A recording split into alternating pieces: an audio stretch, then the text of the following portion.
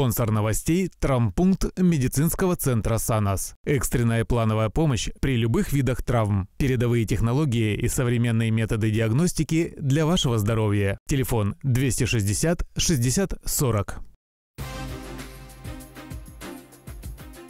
В эфире новости на восьмом. А это значит в ближайшие полчаса все о главных событиях из жизни Владивостока.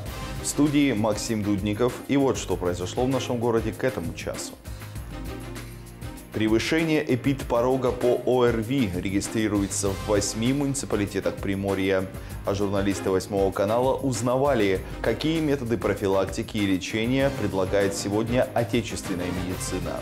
Мне было интересно узнать о том, что наша современная отечественная медицина может предложить такие аппараты, которыми пользуются как врачи, так и обычные люди, например, я. Безопасность прежде всего. Краевой этап всероссийских соревнований по основам безопасности жизнедеятельности прошел в Приморском крае. Ребята подготовлены, все этапы выполняют отлично. «Сестренки шоу». В утреннем эфире радио VBC стартовал новый проект, наполненный остроумными шутками, розыгрышами призов и интересными встречами. «Сестренки шоу» — это шоу, где две девочки, которые являются вашими друзьями, рассказывают о том, что происходит в стране, в мире, в городе. А, что еще? Вы такие же, как братишки, только очень красивые. Также в выпуске Новые меры социальной поддержки медработников поэтапно начинают действовать в Приморье. Еще расскажем, молодые мамы в Приморском крае получат выплаты за первого ребенка. Но об этом немного позже, а сейчас о главном. Конкурсная комиссия завершила накануне прием документов на замещение должности главы Владивостока. Как сообщается на сайте Думы города, в конкурсную комиссию поступил 51 пакет документов. Среди желающих возглавить администрацию дальневосточной столицы предприниматели, местные артисты, депутаты и их помощники, адвокат, электромеханик, слесарь, инженер, пенсионер, экономист, специалист по тендерам, врач-нейрохирург, научный сотрудник дальневосточного отделения РАН. Документы на конкурс подал и действующий градоначальник Олег Гуменюк. Напомним, Дума Владивостока объявила конкурс на замещение должности главы города с 29 января. Документы претендентов принимались до 11 февраля. В составе конкурсной комиссии представители Думы Владивостока и губернатора края. Конкурс проводится в два этапа – проверка документов и собеседование. В итоге будут отобраны как минимум два кандидата, которых представят в Думе. Заседания конкурсной комиссии назначены на 12 марта и 18 марта, а сессия Гордумы, на которой депутаты определятся с главой города, запланирована на 28 марта. Долги бывшим работникам оборонного завода «Радиоприбор» во Владивостоке составляют свыше 300 миллионов рублей, сообщил заместитель генпрокурора России Игорь Ткачев.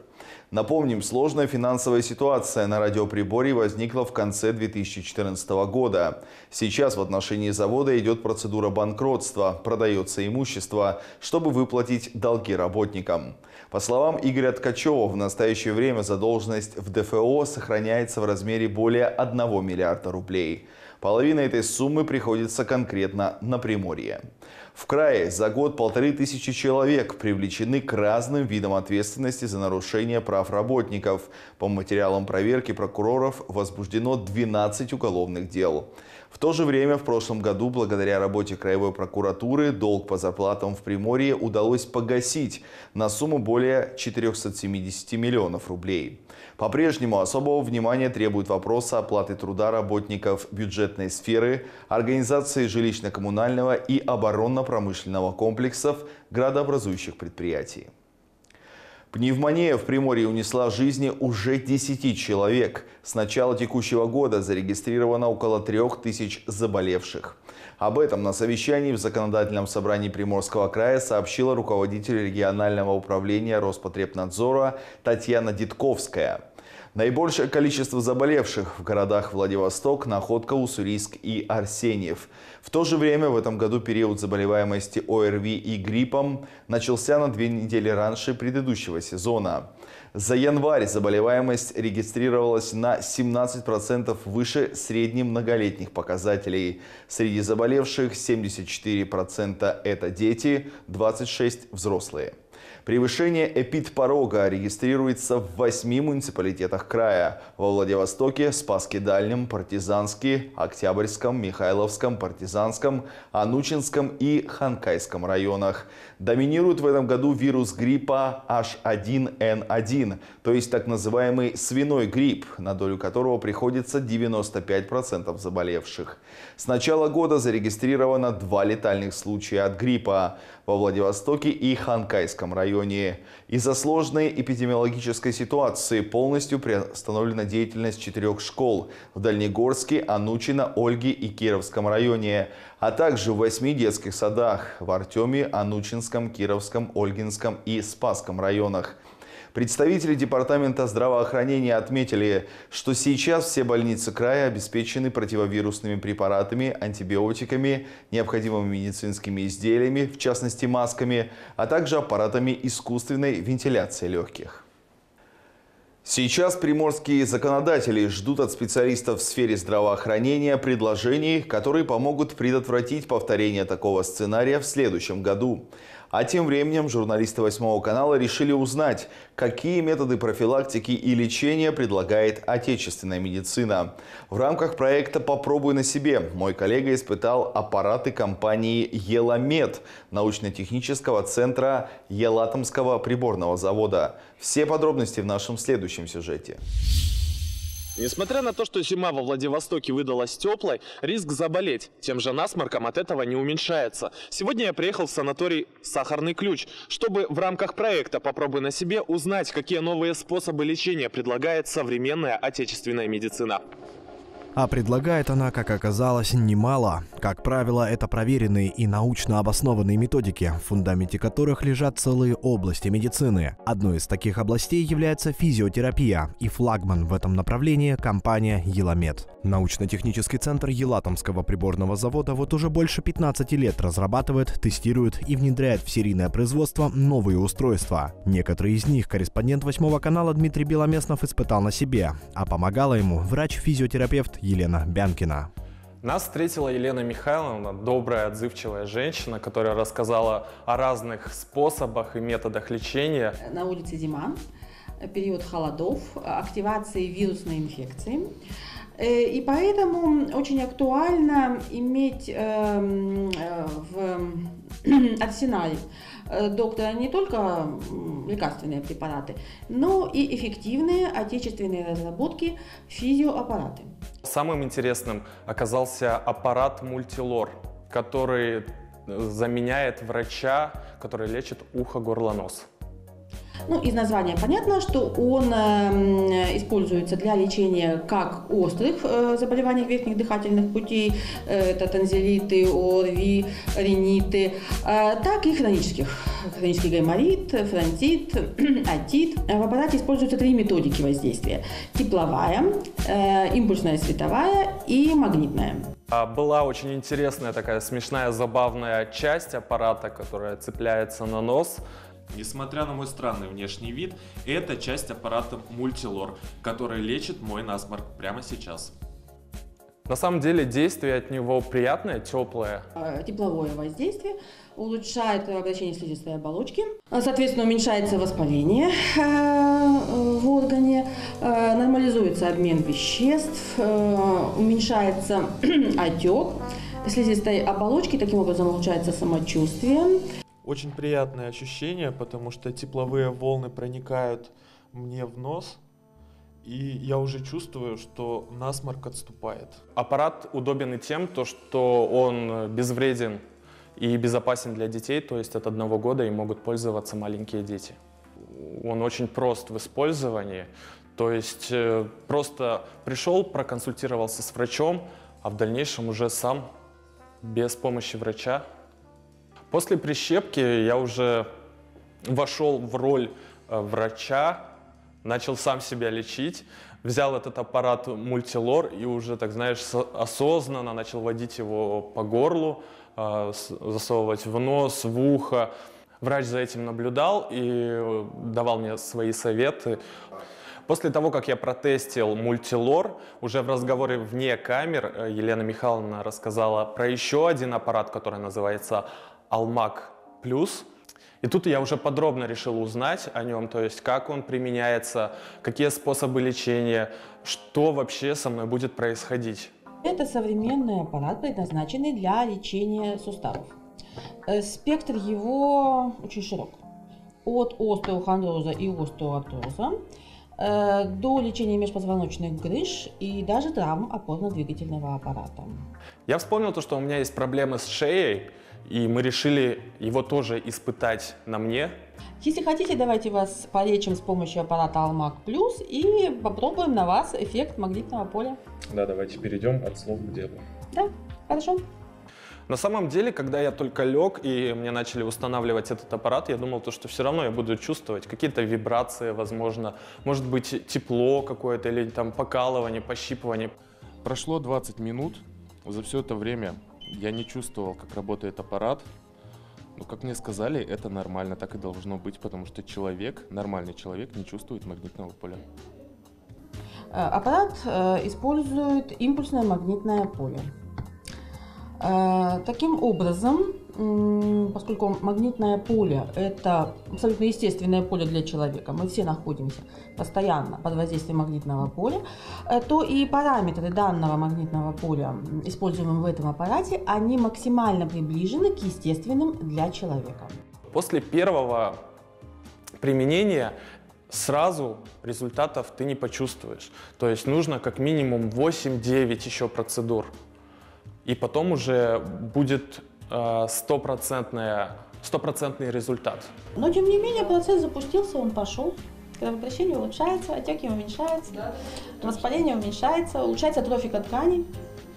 А, ну, надо пройти курс. Мне было интересно узнать о том, что наша современная отечественная медицина может предложить такие аппараты, которыми пользуются как врачи, так и обычные люди, например, я.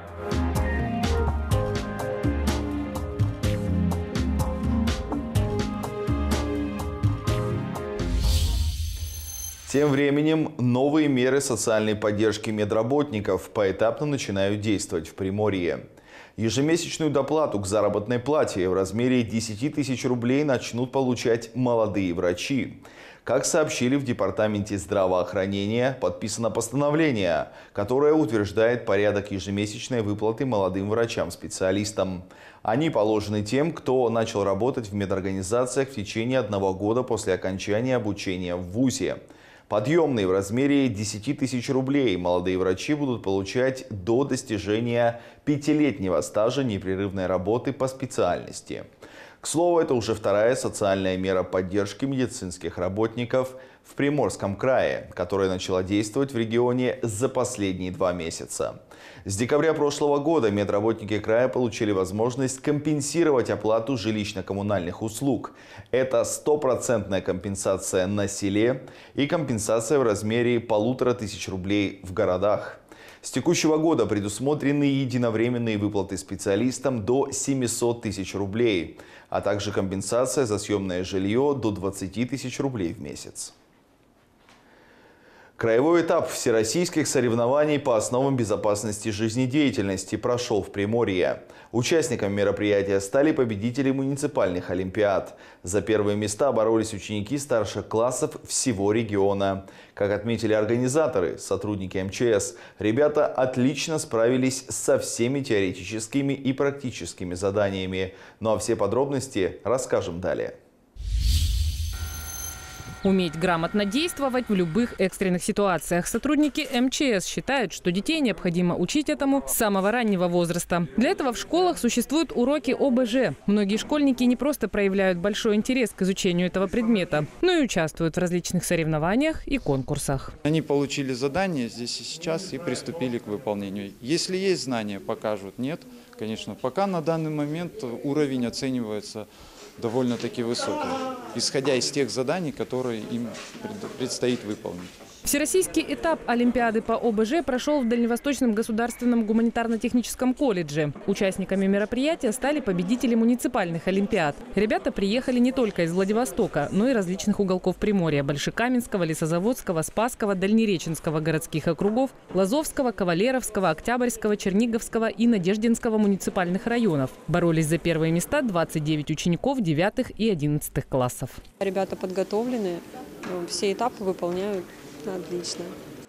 Самая интересная часть Олимпиады – практическая. Школьники соревновались в проведении спасательных работ на воде, оказывали помощь условно терпящему бедствие плоту с туристами, оказывали и первую помощь пострадавшим с остановкой дыхания и травмами. Еще одно задание – раскладка костров различными способами, такими как шалаш, колодец, звездный, нодья и камин. Ребята состязались в преодолении зоны химического заражения, в вязании узлов, в определении высоты и ширины объектов различными способами, снаряжали магазин пистолета патронами и стреляли по мишени.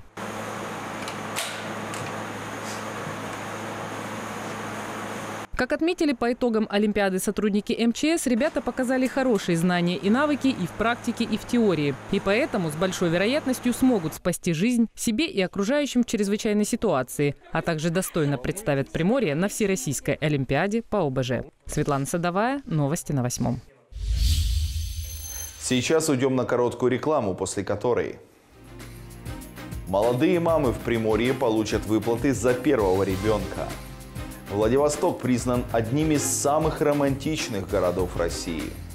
Приморцы сняли на видео амурского тигра в зимнем лесу. Спонсор новостей – травмпункт медицинского центра «Санас». Экстренная плановая помощь при любых видах травм. Передовые технологии и современные методы диагностики для вашего здоровья. Телефон 260 60 40.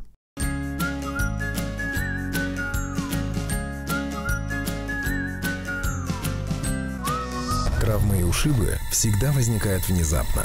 Они резко меняют наши планы. Травмпункт медицинского центра «Санос» – это то, что вы искали. Оказание экстренной помощи без очередей и записи при любых видах травм. Современный цифровой рентген поможет выявить даже сложно диагностируемые повреждения. Травмпункт медицинского центра «Санос». Мы заботимся о вашем здоровье.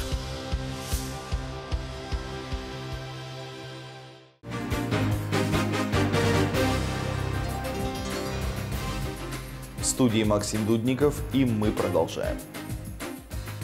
Молодые мамы в Приморье получат выплаты за первого ребенка.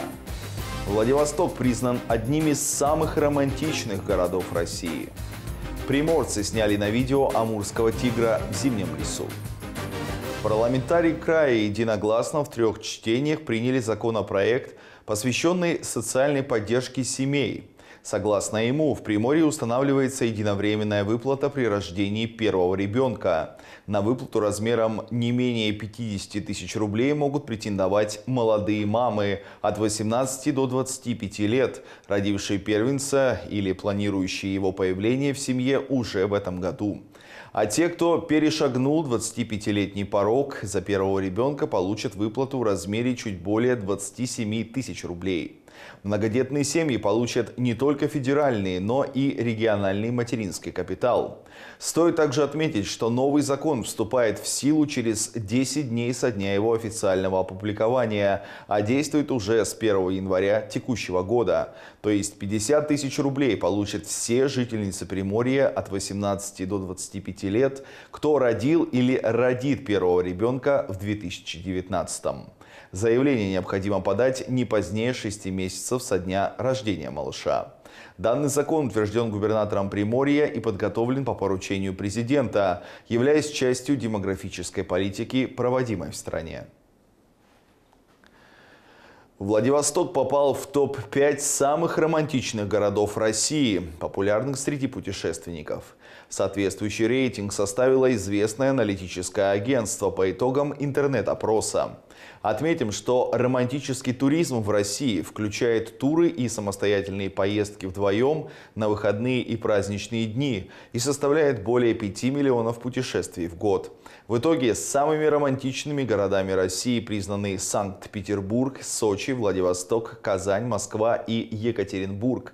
За Санкт-Петербург, как самый романтичный город России для путешествий, отдали 60% голосов. За Сочи и Владивосток по 9 9%, за Казань 7%, за Москву и Екатеринбург по 5%.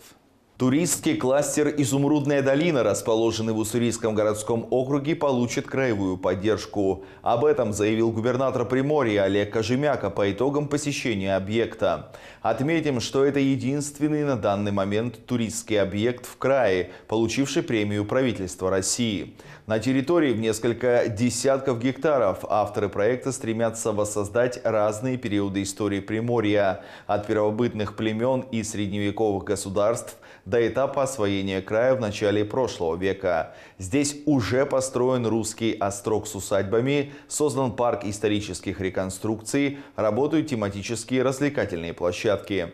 Олег Кожемяка пообещал, что в этом году почти 2 километра дороги, ведущие в Изумрудную долину, покроют асфальт асфальтом. Глава региона также поручил разработать проект дальнейшего развития кластера и представить его руководству для решения вопроса о предоставлении краевых средств. Подчеркнуто, что основной упор в деятельности парка должен быть сделан на реализацию образовательных проектов для школьников и развитие туризма. В феврале премию «За верность науке» получила от Министерства образования и науки России глобальная просветительская акция «Открытая лабораторная». «Лаба», как называют ее в народе, поможет вспомнить все – откуда мы произошли, как устроена природа и как работает техника. Проверить, как ваша картина мира связана с его реальным устройством, можно с лучшими учеными России и мира. В очередной раз викторина прошла во Владивостоке 9 февраля на нескольких площадках. На одной из них побывала и съемочная группа восьмого канала. Анна Бережная продолжит тему. Утро выходного дня, но некоторым особенно пытливым умам не до сна, ведь они хотят испытать на прочность нет не свою волю, а, естественно, научную грамотность. Открытая лаборатория 2019 – ежегодное мероприятие, и многие из участников здесь не впервые. Вопросы заставляют апеллировать к самым разным знаниям – от физики и химии до истории и бытовых наблюдений. Почему именно такие вопросы съемочной группе рассказал один из организаторов. Вопросы в основном у нас были естественно-научного характера. А почему такие вопросы? Потому что эти вопросы сочетают в себе как э, научность, да, определенную проверку знаний людей, а в то же время они очень интересные. Побеседовав с организаторами, мы узнали, что открытая лабораторная акция не только просветительская, но и глобальная. В 2019 году охват лабы по миру составил более 30 стран. По задумке авторов, каждый участник может не просто пройти тест, но и при желании оспорить результат, поучаствовав в дискуссии с учеными, авторами вопросов. Стоит заметить, что для участия можно не только регистрироваться заранее и проходить в один день со всеми, но и просто зайти на официальный сайт открытой лабораторной. К слову, в начале февраля открытая лабораторная получила от Министерства образования и науки России премию за верность науке. Но зачем вообще знать много и участвовать в таких тестах? Ведь в наше время каждый планирует свою жизнь заранее и думает, что точно знает, что ему пригодится в жизни. Мы не знаем, что нам пригодится в жизни на самом деле. Вот я по образованию инженер, а работаю в области химии. То есть э, пригождается в основном все. А быть эрудированным и знать многое, это всегда полезно. Пройти лабу онлайн или записаться на официальный этап каждый решает сам. Однако в последнем случае участник, отличившийся эрудицией, может надеяться на приятные бонусы и даже призы. Стоит отметить, что мероприятие ежегодно проходит в десятках городов России, а во Владивостоке площадкой для него стал как Центр содействия молодежи, так и Дальневосточный федеральный университет. Анна Бережная, Евгений Черемухин, Станислав Лазебный. Новости на восьмом. В феврале в утреннем эфире радио VBC стартовал новый проект «Сестренки шоу». Ведущие Катя Демина и Ляля Булавина приглашают интересных и, что самое главное, полезных гостей. Разыгрывают призы и остроумно шутят. Все подробности расскажет Дмитрий Беломеснов. За новый проект на радио VBC с не по-женски крепкой хваткой взялись ведущие Катя Демина и Ляля Булавина. Девушки не только обаятельные и дружелюбны, но и остры на язык. Слушателям с ними надо держать ухо востро, хотя бы потому, что каждый эфир обещает быть по-настоящему захватывающим, и пропускать его строго не рекомендуется. Сестренки шоу – это шоу, где две девочки, которые являются вашими друзьями, рассказывают о том, что происходит в стране, в мире, в городе. А, что еще? Мы такие же, как братишки, только очень красивые. Гости к нам приходят самые интересные. Самое главное, чтобы им было что рассказать. То есть любая информация, которую они несут в эфире, должна быть прикладного характера. То есть все, что мы рассказываем, это можно внедрить в жизнь и сделать свою жизнь чуточку лучше. Вот так мы и работаем. Я все время молчу, она все время разговаривает. В этот раз тема эфира – коррекция веса, в том числе и психологическая, и правильное питание. Делились с радиослушателями секретами и советами представители медицинского центра ДВФУ. Затронули актуальные актуальные и волнующие вопросы. Как начать правильно питаться, как лучше употреблять еду, какими порциями. Действительно, за три часа до сна кушать не нужно. Но это не значит, что если вы ложитесь в 3 часа ночи, нужно кушать 12 часов. Угу. Не нужно ложиться в 3 часа ночи. Если у, тебя, у человека сменный график работы, то нужно вот тут уже точно обратиться к специалисту и подработать свой график питания. Когда ночью не спишь, это все равно не значит, что нужно очень много есть. Сестренки есть и в Инстаграме. Несмотря на то, что проект стартовал совсем недавно, следят за шоу и участвуют в конкурсах уже более полутора тысяч подписчиков. Отметим, что в шоу много рубрик, например, «Факт Ю», подборка нетривиальных новостей, или «Ну и гаджеты» о новинках техники, телефонах, разных современных девайсах и так далее. Ну и, конечно же, интерактив со слушателями. Для меня лично это шоу отдушина, потому что с Катей мы знакомы уже давно, ну, я еще ходила в школу, она уже была взрослой женщиной. Мы познакомились, задружились. Она и... выросла на моих эфирах, так говорят. Хотя выгляжу я лучше, правда? Вот посмотрите. Ну, это фотомонтаж, на самом деле, все по-другому. Для меня это тяжелый труд. Вот она отдыхает, а я работаю. Это сразу видно, да? Вот, поэтому э, Лялечка, она молодец. Она вот она легкая, она, она, она позитивная, она молодая, она моложе меня всего на три дня практически, но всегда это подчеркивает в эфире. Амбиции у сестренок масса. Действительно ли они такие крутые, как о себе заявляют? Слушайте сестренки шоу на VBC и сами все поймете. Неизвестно, когда будет идти этот сюжет по телевидению, во сколько вы попадете на него, но если вдруг это будет с 8 утра до 11 дня по будням, я вам рекомендую сделать следующее. Выключайте здесь звук, включайте 101,7 FM, эм, и пускай у вас начинается настоящее раздвоение личности. Там и тут их показывают, там и тут они говорят. Вашу маму и там и тут передают. Вы кто? Сестренки. Какие сестренки? Где моя жена?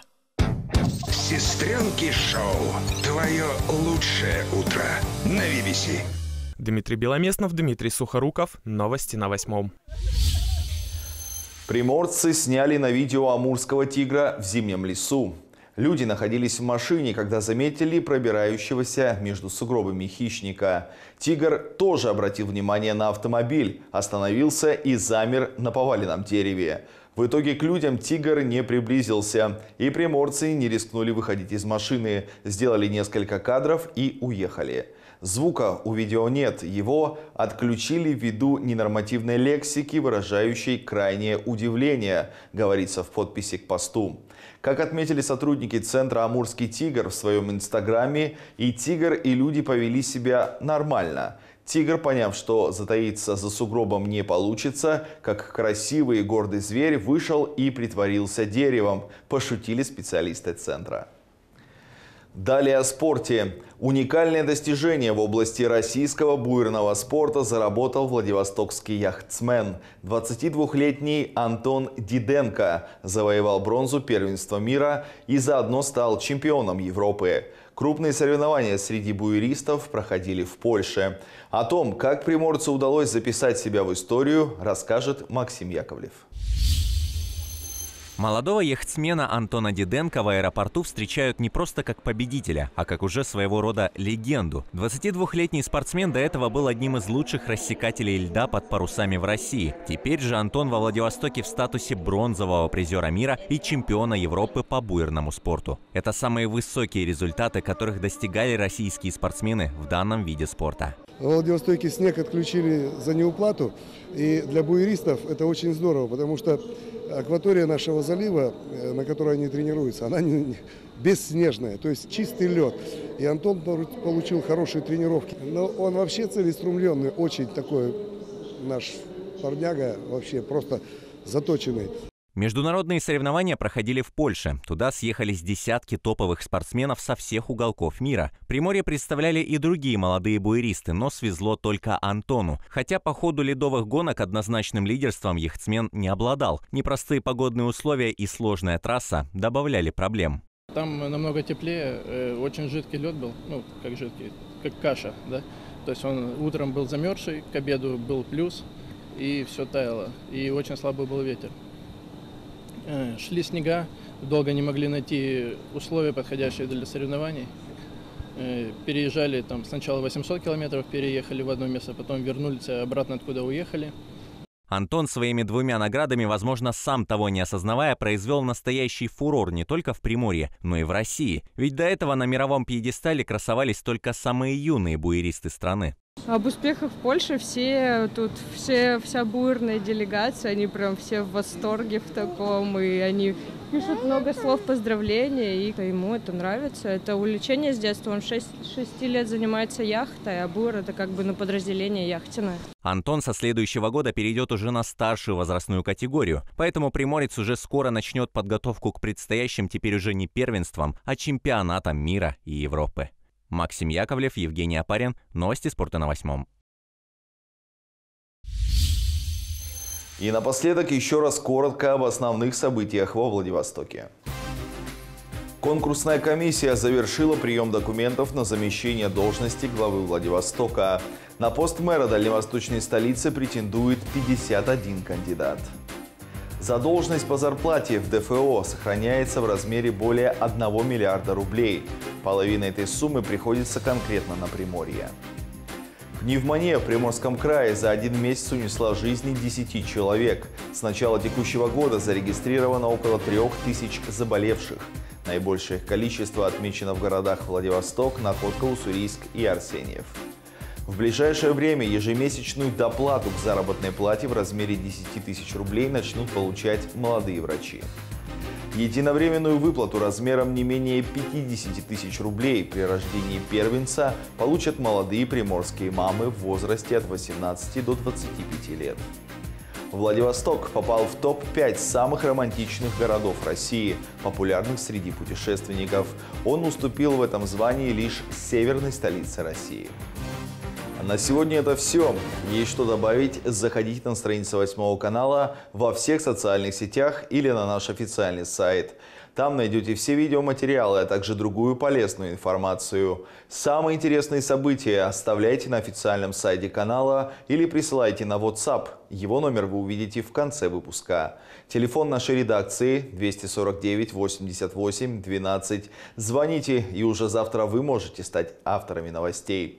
Хотите о чем-то рассказать городу? Мы поможем. Восьмой канал. Главное – Владивосток. Владивосток признан туристами одним из самых романтичных городов России. Но это до тех пор, пока гости приморской столицы не нырнули с маской под воду в прибрежной полосе заливов. Подводные свалки мусора, как это по-нашему, по-человечески. Справедливости ради отметим, что варварское отношение к одному из главных богатств планеты морю явление не сугубо приморское, а повсеместное. Здесь даже французам крыть нечем – Среди резины и пластика вынуждены выживать представители морской фауны. Среди беспозвоночных осьминоги считаются одними из самых умных созданий. Те из них, что имеют постоянный дом, всегда содержат его в чистоте. Однако человек вынудил их сильно корректировать свои привычки. На рукотворные жилища морских обитателей смотрим все вместе прямо сейчас и без комментариев. Сразу после прогноз погоды. С вами был Максим Дудников. Увидимся на восьмом.